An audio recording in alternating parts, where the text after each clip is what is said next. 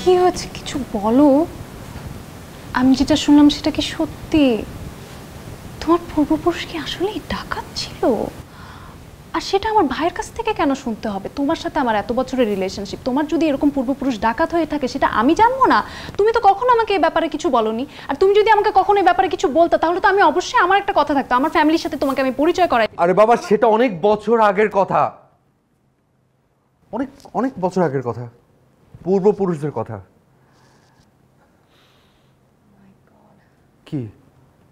তোমার পূর্বপুরুষ আসলে ডাকাত ছিল তুমি এত বড় একটা মিথ্যা কথা আমাকে কীভাবে বলতে পারলে? আচ্ছা এখানে আমি মিথ্যে কথা কোথায় বললাম?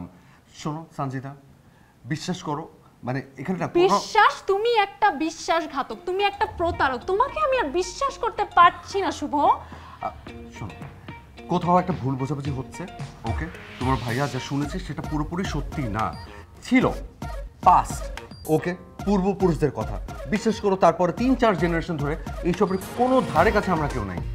আমরা এখন একদম অর্ডিনারি নর্মাল আমি পিপল আমরা কোনো কথা শুনতে চাই না। তুমি তোমার ভাইয়াকে ডাকো আমি কথা বলি ওনার সাথে ওনাকে বুঝিয়ে বলে উনি বুঝবে। দরকার ওনাকে নিয়ে আমি আবার এলাকায় যাব। আমার ভাই তো কথা- আমার কিছু বোঝাবুঝি নেই না না। আমি যেটা জেনেছি দ্যাট ইজ ফাইনাল শোনো তুমি সত্য বলছো কি বলছো না সেটা বলো। তোমার পূর্বপুরুষ ডাকাত ছিল কি ছিল না সেটা বলো।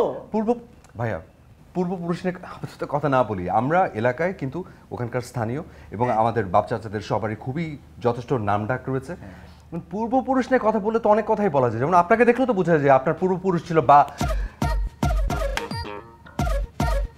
বাহাদুর। শাহ বাহাদুর মনে হয়। তাই না? তো পূর্বপুরুষদের সেই জেল্লা একাত্তর দিন পরে এসে কেন আমাদের ভুগতে হবে আমি সেটা আমি বুঝতে কোনো পারছি না। কোনো কথা শুনতে চাই না। তুমি এত বড় একটা কথা আমাদের কাছ থেকে গোপন করেছ এরপর তুমি কোন মুখে আমাদের এখানে এসে কথা বলছো? তুমি এখান থেকে বের হয়ে যাও try to understand, আমি না- কোনো কিছু বুঝতে চাই না। তোমাকে আমি তোমাকে আমি 30 সেকেন্ড সময় দিচ্ছি। 30 সেকেন্ড আমি 1 থেকে 10 পর্যন্ত করব তুমি এখান থেকে বের হয়ে যাবা। আচ্ছা ভাইয়া আমার কথা। শুনেন আমি দুই 3 চার 5 ছয় ঠিক আছে ঠিক সাত। আছে। আট